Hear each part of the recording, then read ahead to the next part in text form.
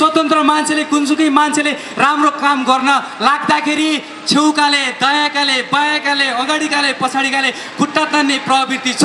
त्यही प्रवृत्तिलाई हामीले इङ्गित गर्दै यहाँनिर खुट्टा तान्ने प्रतियोगिता गर्दैछौँ। जसमा साथीहरू एक खुट्टाले बस्नु यहाँनिर बढ्ने चाहिँ कोसिस गर्दै हुनुहुन्छ। छेउका साथीहरूले चाहिँ यहाँनिर खुट्टा तानिरहनु भएको छ उहाँलाई अगाडि बढ्न दिइरहनु भएको छैन। यसरी नै हामीले चाहिँ खुट्टा तान्ने चाहिँ प्रतियोगिता गर्नेछौँ। यो क्रम हामीले दुई मिनटसम्म जारी राख्नेछौँ। राम्रो काम गर्नेहरू अगाडि बढ्न पाउँदैनन्। साथीहरू भर मजबुर प्रयास गर्नुहुनेछ। अगाडि बढ्नलाई यदि चाहिँ खुट्टा तान्न यति अप्ठ्यारो पर्छ भने यसरी पनि तपाईँले चाहिँ तान्न सक्नुहुनेछ। तपाईँहरू यसरी एक खुट्टाले उभिरहँदा अर्कोले तानिरहँदा पक्कै पनि थाक्नुहुनेछ अगाडि बढ्न सक्नुहुने छैन र यसरी थाकिरहँदा तपाईँलाई बल्ल महसुस हुन्छ कि हामी एकअर्काको खुट्टा तानेर हामी अगाडि बढ्न सक्नुहुने छैन तब तपाईँले रियलाइज गरेर एकअर्काका साथीहरूसँग चाहिँ हात मिलाउनु हुनेछ यसरी हामी अगाडि बढ्न सक्नुहुन्न भनेर चाहिँ हातहरू मिलाउनु हुनेछ एकअर्का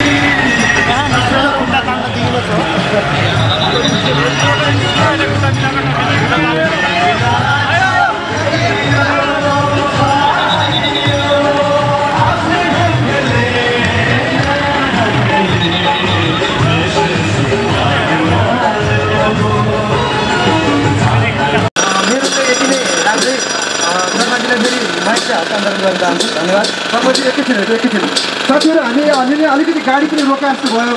तपाईँ पछाडि गयो साथीहरू अझै पछाडि जानुहोस् अनि यो किर्किनेमा जति पनि सङ्घ संस्थाबाट प्रतिनिधित्व गरेर आउनु भएको छ कृपया यो गाडीको छेउमा रातको सेतो एप्रिल नाम भएको डाक्टर साहबहरू हुनुहुन्छ उहाँसँग नआएर नाम लेखाइदिनु होला। त्यस्तै अलि अगाडिपट्टि तिन करोड नेपालीको स्वास्थ्य सय एकको हातमा भनेर हामीले सानो ब्यानर बनाएको छौँ त्यहाँ कलर पनि छ। तपाईँहरू गएर चाहिँ आफ्नो कलर आफ्नो पञ्चका कलरमा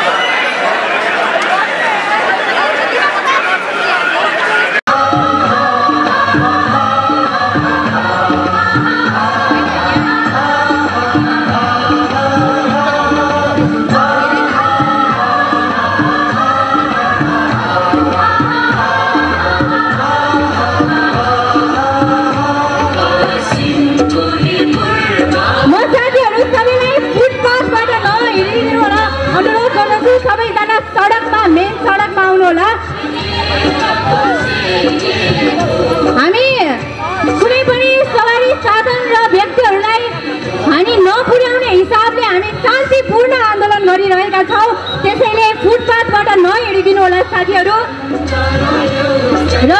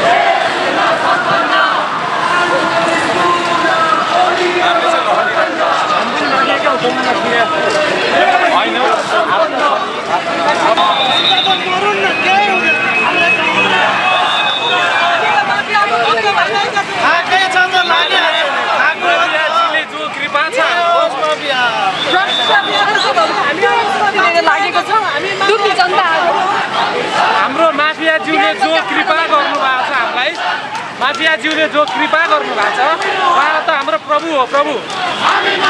हाम्रो प्रभु। प्रभुको चाहिँ हाम्रो